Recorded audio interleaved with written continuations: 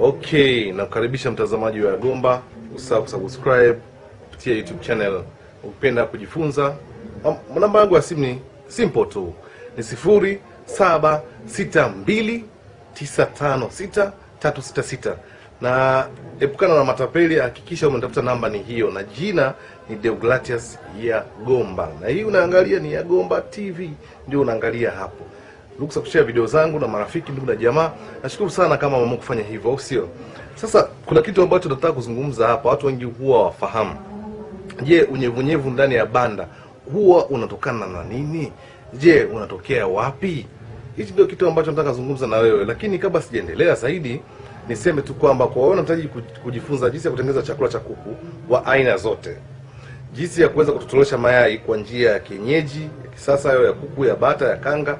Tunafundishana hapa polipo katika namba yangu ya simu na kutumia kwa online tu na kutumia video nzima 0762956366 na mambo ni mengi ya kujifunza, utengenezaji wa batiki, mishumaa, sabuni, vitu ni vingi sana vya kujifunza. Ukipenda tunafundishana. Sasa hapa nazungumzia tu ni swala la unyevunyevu. Je, unatoka wapi unyevunyevu? Hicho ndio kitu ambacho tunajifunza leo hii. Endelea kusubscribe kupitia hii YouTube yangu channel. Mtazamaji wa Yagomba, unyevunyevu unatokana na nini? Unyevunyevu ni nini? Labda unyevunyevu ni majimaji ambayo huwa yanatokeaga ndani ya banda. Unashangaa pia ndani ya banda ukiingia unakuta kama kuna majimaji ndani ya banda. Sasa ule unyevunyevu unasababishwa na vitu vifuatavyo. Kitu cha kwanza kutokea ndani ya banda, cha kwanza ni maji.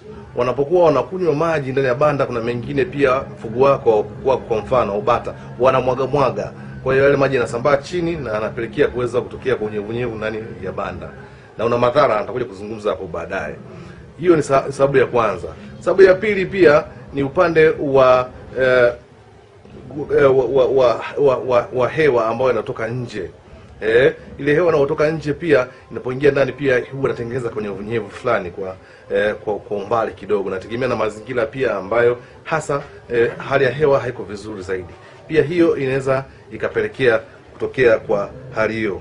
Kuna mvuke ambao unakuta pia wanapumua kupitia upumuaji wao, wanapokuwa wanapumua na wako wengi, kuna kamvuke fulani kanatoka kwenye pua na panapelekea kutokea kwa hali hiyo ya unyevunyevu kuweza kuendelea kutokea.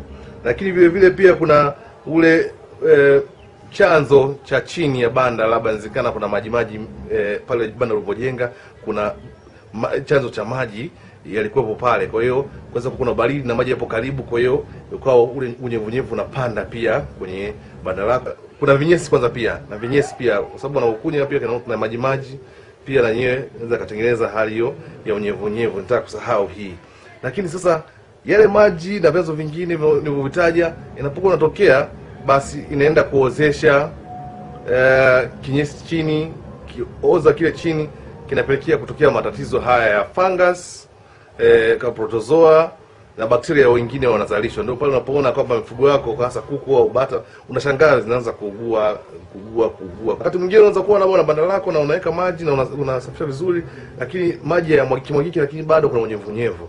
Lakini pia inategemeana na chakula anachokitumia. Kuna kitu ambacho kwenye chakula kama kizidi, utaona wanalisha kinyesi cha maji maji mengi, kwa hiyo inaweza kapelekea kuwa unyevunyevu kuweza kuongezeka ndani ya banda. Usisahau kusubscribe kupitia YouTube channel, endelea kuangalia Yagomba TV.